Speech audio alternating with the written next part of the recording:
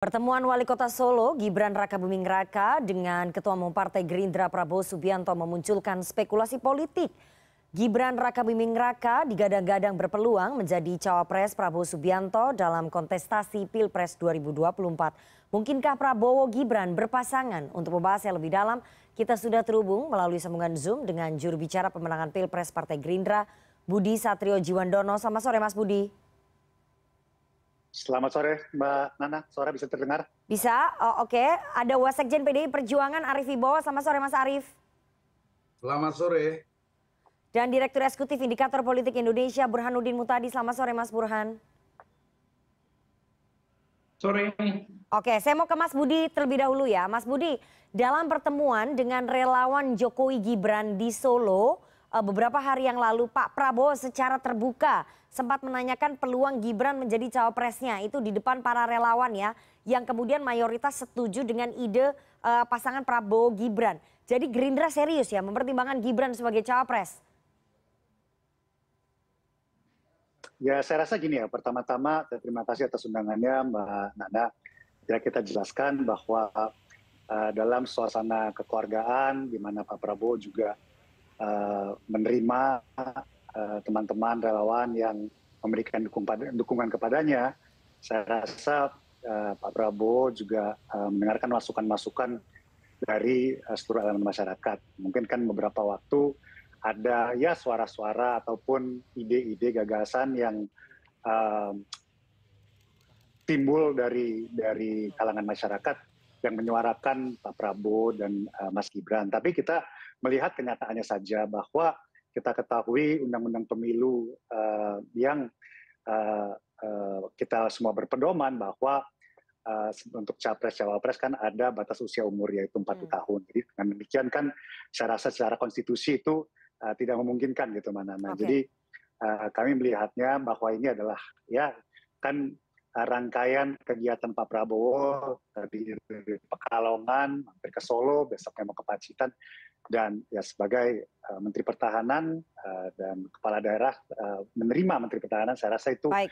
hal yang uh, biasa bukan cuma sama para Prabowo saya yakin Mas Gibran juga menerima tokoh-tokoh uh, lainnya juga uh, selaku uh, menteri-menteri lainnya Eh, misalnya Pak Erlangga dan seterusnya. Gitu okay. kira-kira mana? Oke, okay, uh, Mas Budi, uh, bahwa ini terhalang konstitusi ya, ide menggabungkan antara Pak Prabowo dengan Mas Gibran. Nanti saya akan bahas soal konstitusinya ataupun soal dasar hukumnya. Tapi kalau tidak terhalang konstitusi, artinya Gerindra mempertimbangkan mengambil Mas Gibran sebagai cawapres?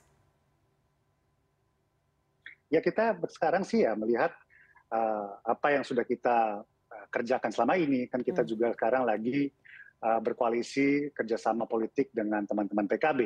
Ya hmm. apa pun itu kami kader Partai Gerindra, kader PKB menyerahkan sepenuhnya kepada Pak Prabowo okay. dan Pak Muhammad Iskandar selaku pucuk pimpinan kami untuk menentukan nanti untuk pasangan capres cawapres itu akan seperti apa Mbak Nana. Oke baik, uh, Mas Budi saya harus uh, minta konfirmasi Anda ya. Sebetulnya kami dengar ini bukan pertama kali Pak Prabowo menawari Mas Gibran sebagai cawapres. Pada lebaran hari pertama di rumah Pak Jokowi di Solo secara langsung kabarnya Pak Prabowo mengajukan nama Mas Gibran sebagai cawapresnya kepada uh, Presiden Jokowi. Itu betul nggak Mas Budi?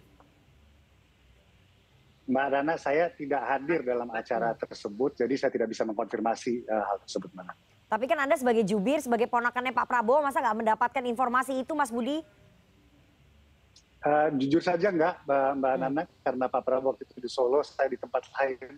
Okay. Saya tidak mendapatkan uh, informasi uh, tersebut. Oke, okay, saya mau ke PDI Perjuangan. Mas Arief, bagaimana kemudian PDI Perjuangan menanggapi wacana duet Prabowo Gibran yang tadi disampaikan oleh Mas Budi ini salah satunya muncul dari aspirasi relawan, aspirasi masyarakat? Jadi kan sudah dijelaskan itu.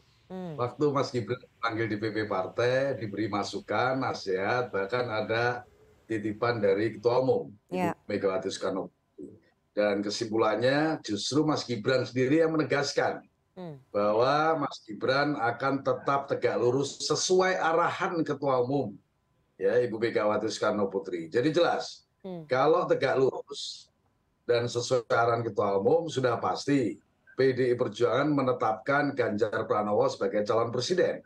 Nah karena itu jajaran pengurus kader anggota dan bahkan simpatisan dimintakan untuk mengikuti apa yang sudah menjadi keputusan partai. Nah bahkan gibran sendiri mas gibran sendiri pada saat bertemu pak prabowo beliau dalam posisi sebagai wali kota solo ya banyak orang datang dan itu diklaim sebagai relawan tapi dalam satu kesempatan beliau juga menyampaikan Mas Gibran bahwa kebanyakan yang datang memang kader Gerindra. Jadi memang suasananya ramai sesuatu yang biasa saja. Ya, tapi yang penting adalah apa yang sudah dinyatakan oleh wali, wali kota Solo bahwa tetap tegak lurus sesuai arahan ketua umum. Saya kira itu kuncinya. Ya.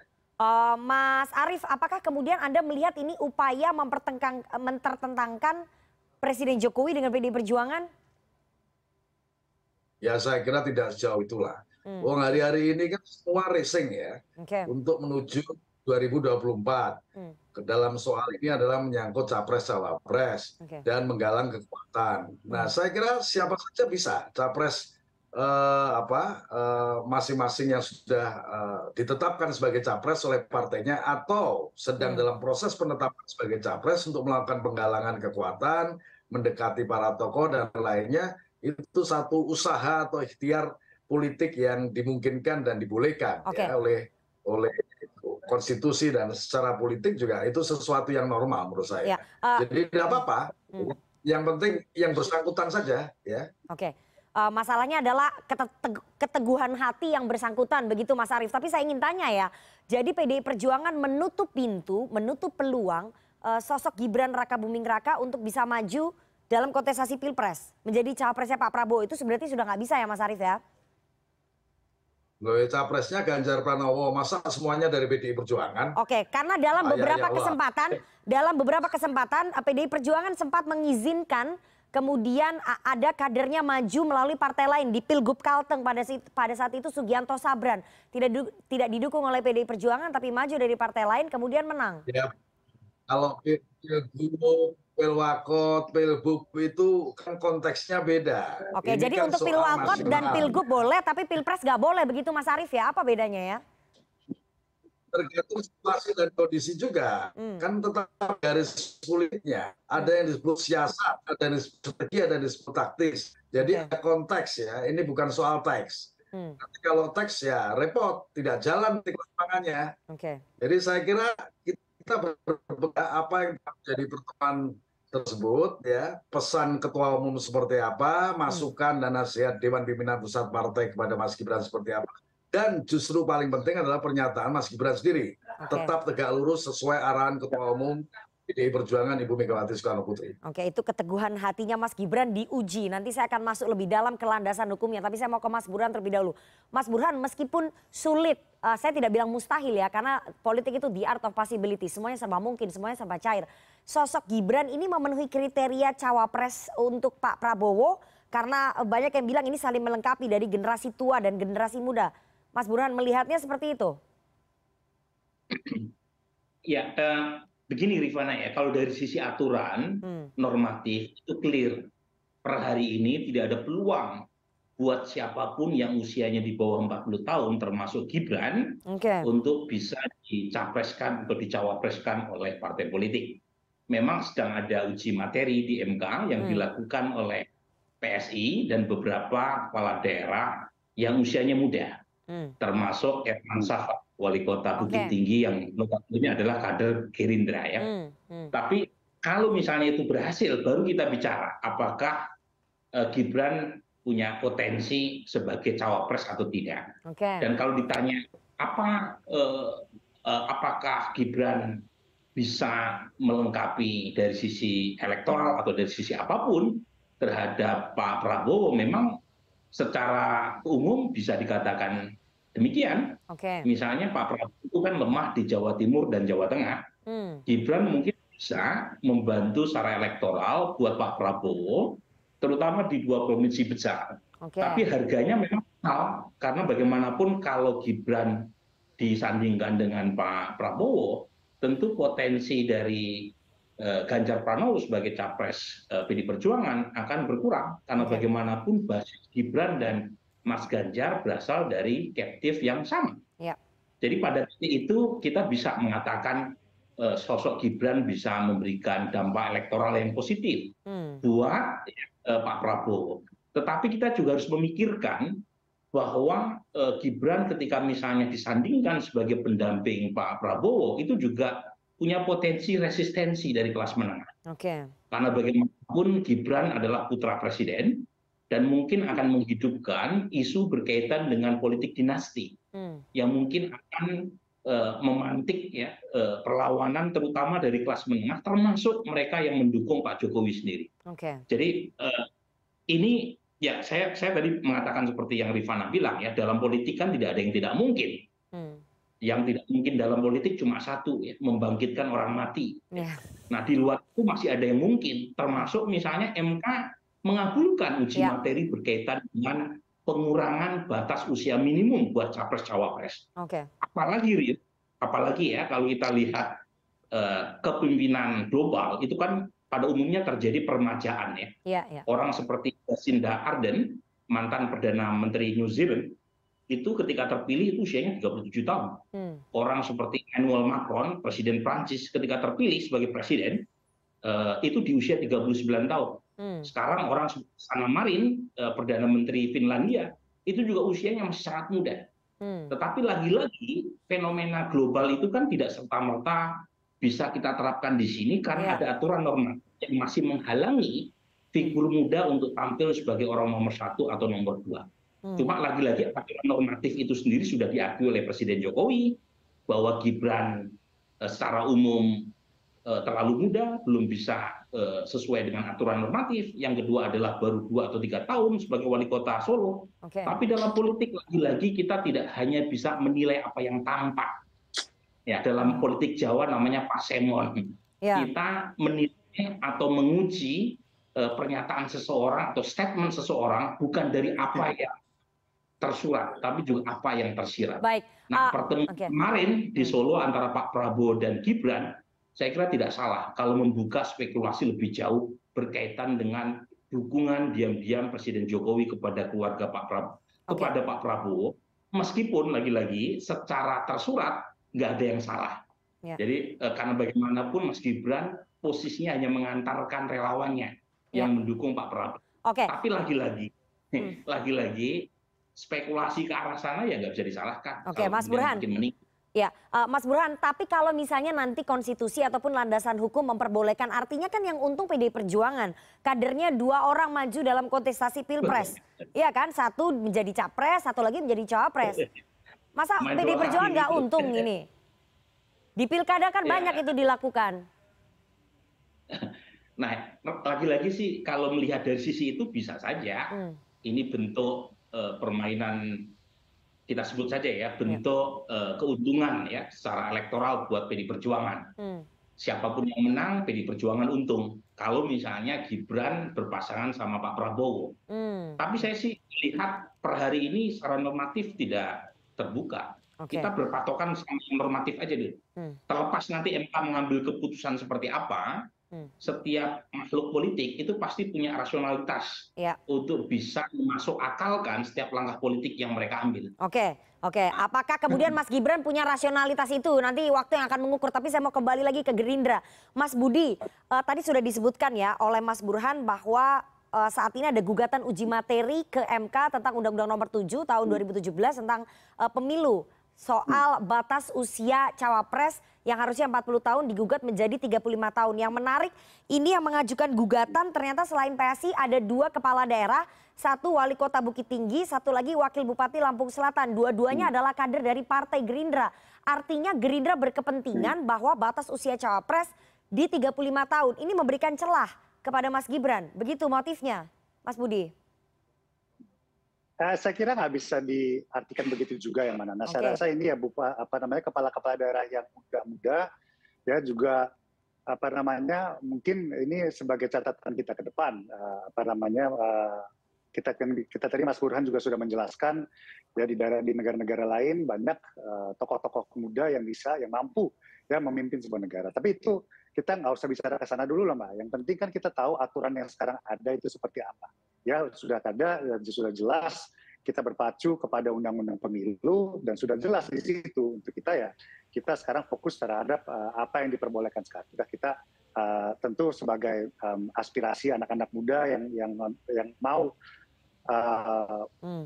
mempersembahkan tenaga dan pikirannya untuk bangsa dan negara di kancah politik nasional ya ini sebagai uh, catatan untuk kita bersama bahwa okay. Uh, sudah uh, bisa diberikan jalan untuk anak-anak muda berkiprah di uh, politik nasional. Mas, Tapi sekali lagi kita hmm. sekarang fokus sekarang belum ada keputusan apa-apa kita tetap uh, fokus kepada aturan yang ada. Oke Mas Budi, tapi perintah kepada dua kepala daerah untuk mengajukan gugatan uji materi ke MK itu datangnya dari DPP Partai Gerindra yang kami dengar dari salah satu petinggi Partai Gerindra. Anda membenarkan itu nggak? Kan nggak mungkin kepala daerah dari partai Anda kemudian Saya... mengajukan gugatan uji materi tanpa ada perintah ya mungkin mungkin eh, Mbak Nana juga harus mengklarifikasi ke hmm. sumbernya Mbak Nana, mungkin lebih hmm. canggih daripada saya. Oke, jadi nggak ada perintah dari partai ya untuk mengajukan gugatan uji materi? Setahu saya tidak, Mbak. Oke, jadi fungsinya apa? Mengajukan gugatan uji materi secara spesifik soal usia cawapres ini apa? Dua kader Gerindra loh, bukan kader partai lain.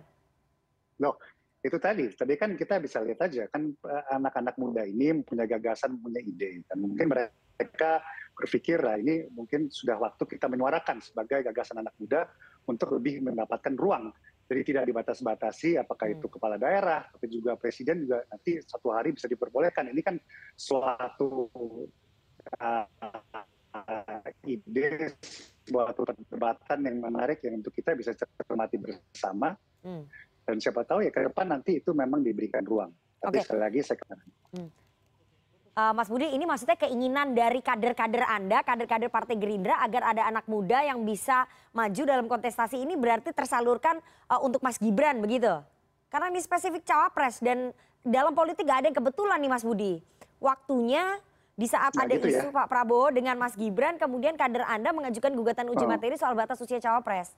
Ini aspirasinya memang ke situ ya? Ya mungkin ya enggak saya saya saya, saya katakan tadi ya ini hmm. mungkin sekedar uh, apa namanya aspirasi harapan ya hmm. anak-anak muda uh, apa pemimpin-pemimpin muda di daerah-daerah kabupaten bahwa yang mereka menyuarakan ya gagasan ini bahwa ini mungkin sebuah uh, yang harus kita pikirkan bersama tapi tidak serta merta bahwa ini dikait-kaitkan dengan uh, mungkin ada gagasan ada ada suara-suara yang mengharapkan uh, Mas Gibran maju sebagai uh, cawapres di kontestasi politik di 2024, Mbak Nana. Oke, uh, Mas Arief saya ingin tanya ya, kalau MK mengabulkan gugatan soal batas usia cawapres menjadi 35 tahun, apakah PDIP melihat peluang Mas Gibran bisa maju sebagai cawapresnya Pak Prabowo? Kan yang untung PDI juga, seperti yang tadi saya dan Mas Burhan bahas. PDI Perjuangan bisa dapat untung secara elektoral loh dua kadernya itu bermain dalam kontestasi Pilpres. Iya, PDI Perjuangan tidak sedang berbisnis tapi berpikir tentang bagaimana bangsa dan negara ke depan. Okay. Dari tadi justru saya mati Mas Burhanuddin tadi itu menjelaskan mau ketawa terus sebenarnya. Hmm. Jadi konstitusi jelas tidak mungkin yang kemudian diatur secara lebih eh, rigid oleh undang-undang dengan undang-undang nomor 7 tahun 2017 tentang hmm. pemilihan umum. Nanti kalau mau di dalam lagi kenapa saatnya harus sekian ya? Hmm. Tidak tidak lebih mudah lagi. Itu panjang ya. Okay. intinya bahwa setiap ini harus memiliki apa namanya proses dan pengalaman yang eh, dinilai secara umum adalah relatif memadai. Jadi wasaannya kepemimpinannya keluasan eh, pengetahuan dan wawasan dan banyak hal yang termasuk maka selalu saja dari dulu penentuan batas umur itu untuk calon pemimpin setingkat eh, apa nasional itu diambilkan adalah keumuman ya yaitu hmm. 40 tahun minimal. Okay. Tapi itu bisa saja diperdebatkan. Tapi PDI Perjuangan juga tidak pernah menghalangi orang muda untuk maju. Justru kita berharap orang-orang muda di partai, terutama hmm. PDI Perjuangan bisa maju ya lebih baik dari generasi sebelumnya. Nah, kembali kepada soal Mas Gibran tadi, saya kira sudah jelas apa yang telah dinyatakan oleh uh, Mas Gibran bahwa tetap tegak lurus sesuai arahan ketua umum itu artinya adalah akan selu, akan selalu mengikuti perintah ketua umum terus juga perintah hmm. partai. Hmm. Okay. Jadi saya kira ini soal manuver politik yang biasa dan sah-sah saja sebagai satu ikhtiar politik siapa pun capres ya nanti kalau sudah ada cawapres melakukan manuver apa saja silakan maka kemudian DPP dan ibu memberikan satu arahan satu masukan hmm. masukan juga serta nasihat agar berhati-hati terhadap segala macam manuver politik yang okay. bisa jadi hmm. akan merugikan tidak saja dirinya tapi juga partai bahkan juga untuk kepentingan yang lebih luas adalah nasional interest atau kepentingan nasional kita. Oke, Mas Arief, uh, dari PD Perjuangan menilai bahwa saat ini belum waktunya begitu ya, Mas Burhan untuk maju, uh, Mas Gibran, bukan Mas Burhan, Mas Gibran untuk maju dalam kontestasi pilpres begitu ya. Karena tadi Anda sebutkan ada faktor pengalaman, kemudian uh, keluasan dan usia. Jadi belum pas lah ya waktunya menurut Mas Arief untuk Mas Gibran maju? Saya tadi menjelaskan soal kenapa pasal itu muncul terkait hmm. undang-undang. Hmm. Ya. Okay. Nah soal Gibran belum waktunya atau tidak, selalu saya Tapi dari segi pengalaman bagaimana Mas Arief? Capres Cawapres kan kewenangan ketua umum. Hmm. Partai Demokrasi Indonesia sudah memutuskan, menetapkan, mengumumkan Ganjar Pranowo sebagai calon presiden Republik Indonesia. Hmm. Nah itulah yang menjadi pegangan kita. Okay. Jadi tidak bisa kita kembali setback untuk kembali pada satu gagasan yang bisa jadi menarik untuk didiskusikan. Hmm. Tetapi kita berpikir tentang bagaimana menghadapi pemilu 2024 di pileg dan pilpres kita menang dan bakal uh, di pilkada serentak 2024 juga bisa memenangkan di banyak wilayah negara kesatuan Republik Indonesia. Baik, uh, Mas Burhan terakhir kalau tadi dikatakan oleh Mas Arief ya sah-sah saja kalau misalnya ada manuver-manuver politik yang dilakukan oleh uh, capres tertentu begitu ya. Tapi kalau misalnya Anda analisa apa motif politis dari manuvernya Pak Prabowo dan juga Gerindra um, mempertimbangkan mungkin Mas Gibran menjadi cawapres. Apakah ini salah satunya karena endorsementnya Pak Jokowi yang mencapai 16 persen dalam kontestasi Pilpres 2024? Jadi dengan mengambil Mas Gibran bisa otomatis yeah. dapat endorsementnya Pak Jokowi? Uh, sebenarnya Pak Prabowo sendiri kan sudah mengantongi endorsement ya hmm, hmm. Uh, dari Pak Jokowi, terutama di akhir 2022 dan awal 2023. Okay. Sebelum tanggal 21 April, Ibu Megawati memutuskan Ganjar sebagai capres. Hmm, hmm. Jadi saya catat lima kali Presiden Jokowi mengatakan Pak Prabowo adalah the next president okay. dengan berbagai macam formulasi pernyataan. Ya, Tetapi setelah tanggal 21 April itu kita belum mendengar Pak Jokowi memberikan pernyataan terbuka mendukung Pak Prabowo. Hmm. Wajar karena tanggal 21 April di hari Kartini Ibu Mega sudah memutuskan Ganjar Pranowo sebagai capres PD Perjuangan. Okay. Nah, itu yang pertama. Nah, tetapi efek elektoral Pak Jokowi memang tidak bisa diabaikan.